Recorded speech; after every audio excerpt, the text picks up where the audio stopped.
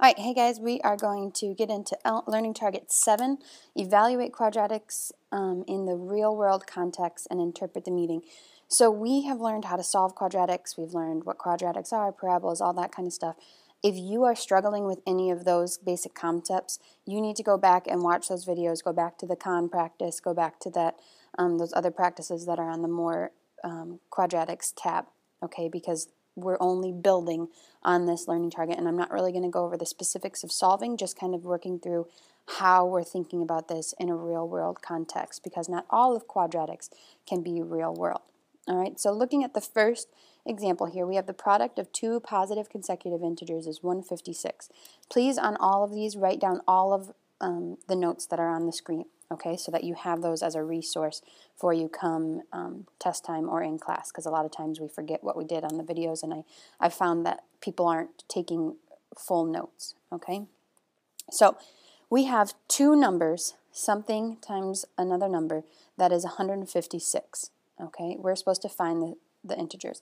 And this is a product of two consecutive integers. So I hear product, so I'm thinking factors, okay? I'm thinking two numbers that are um, right next to each other. So you might want to use x and y, but I'm going to use x, and then since they're consecutive integers, I'm going to use the second number as x plus 1, because that'll just be a number 1 bigger than x. Okay, so x times x plus 1 is going to be 156.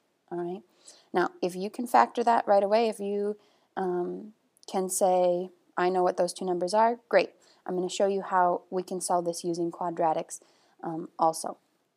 Okay, so if we expanded this out, because we can't use it as a factor form right now because we don't have 0, then that would be x squared, x times x, plus 1x, and then minus 156 if we subtract 156 from both sides, and that would be 0. Okay, so what I'm going to do is I'm going to show you um, the, I'm just going to work through the steps of the quadratic formula here off to the side, and then you can look through that, and then also just say, um, talk about maybe factoring these as well.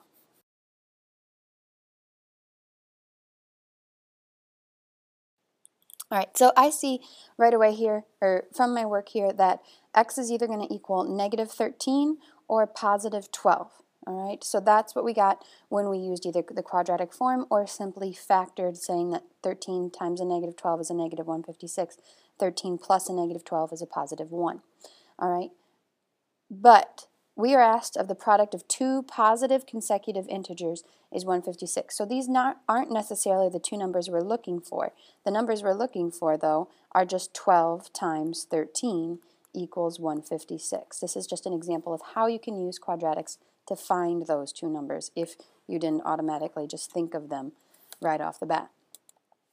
Another way quadratics are often used is with areas of rectangles. Okay, um, so we have a, the length of a pool is 10 meters more than its width. The area of the pool is 875. So we're asked to find the dimensions of the pool. So if I set up a little quadratic here, I have that length times width, so x times x plus 10 is going to be 875. All right. So that's basically what we're looking for is can you set this up? Can you see what this is? And then solve it from there. So I'm going to set it up into general form, x squared plus 10x minus 875 is going to equal 0. So we're going to try to find um, an x here. And again, we're going to come up with probably two answers and we're going to talk about which of the answers makes sense in the real world context. So I'm going to do the work for with the quadratic equation here because I don't um, I can't think of two numbers that solve this easily off the top of my head. So I'll put that work on the side and then we'll talk about the answers. All right, so our answers using the quadratic formula are x equals 25 and x equals negative 35. But obviously we can't have a negative length here, so I know that I'm going to use our positive here so that, that our width is 25, okay? And we know that the length is 10 more than that, so our length is just going to be 35 meters, are both of those measurements. Okay, so I just take the positive answer and then make that work with our real world situation. Probably um, the most common use of quadratics is um, when you're throwing things. I've shown you guys, maybe not in both classes, that when you throw anything, if you guys just take an underhand toss, a marker, toss something in your room or wherever you're doing this, it will create the shape of a parabola. Okay, so we have an equation here that models the height of the stone, a stone thrown into the air, where t is our seconds and height is our, or h is our height in minutes. Okay, so we're going to use t h, where t is our time elapsed and h is our height. We're asked three questions here, so we're going to do each of these three questions separately. The first one is how long is the stone in the air? So from the time it was thrown to the time it hit the ground. All right, so here's where it would hit the ground.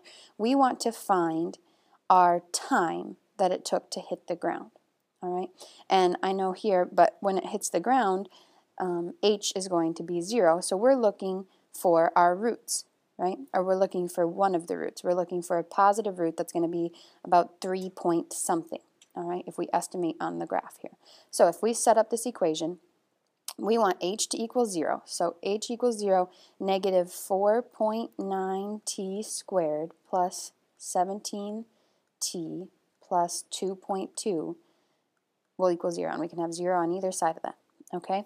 Um, so I'm going to set up the quadratic equation again, show you our work, and we're going to talk about the positive root that we get. All right, so the answers I got were x equals negative 0.124, so that would obviously be this root, and the positive 3.5943. So that's the root we're talking about. That's when it hits the ground. So we would answer this question by saying that it hits the ground when the time is approximately 3.6 seconds. All right. Next question asks, when is the ball, or when is the ball 10 feet tall? Okay, um, or when is the stone 10 feet tall? So if I look over here at 10 feet off the ground, I can see that I'm going to have two times where this ball is going up and it hits 10 feet, and then when it's coming back down and it hits 10 feet. So we're going to look at the equation negative 4.9t squared plus 17t plus 2.2 equals 10. All right, so then I'm obviously going to have to subtract 10 from both sides to find this answer. Okay, and again, I'm going to use the quadratic formula. I'll put my work over here. All right, so our answers are x equals 0.544, so that's about right there would be after 0.5 seconds about. And then the other time that it's 10 feet tall is at around 3 seconds. All right, so we can answer that questions, this is the time when the stone is at 10 feet. All right, our third and final question is probably the easiest question. It says, what is the height of the stone when it is thrown? So we are looking right about here when the ball is thrown. I'm looking at the y-intercept, okay? Um, and you guys remember the y-intercept from when we talked about linear equations. It's when we cross the y-axis. So that's going to have a time of zero. Okay, before the ball or before the ball is thrown, where is it thrown from? So I'm going to take my equation h equals, and we're finding h this time, and we're going to substitute 0 in for t. So this is going to be 0 squared plus 17 times 0 plus 2.2. All right, and obviously 0 squared is going to be 0 times 0. 17 times 0 is going to be 0. And our height is just 2.2. So at the ball is thrown from 2.2 feet. All right, so this is how you can use um, a graph to help you visualize the situation and then use quadratics to help you answer these kinds of specific questions. All right, before class, I'd like you guys to answer this question. Susie wants to build a garden that has three separate rectangle sections. She wants a fence around the whole garden that is between um, each section as shown. The plot is twice as long as it is wide. There's a typo there. And the total area is 200 feet. How much fencing does Susie need? See if you can figure it out before class.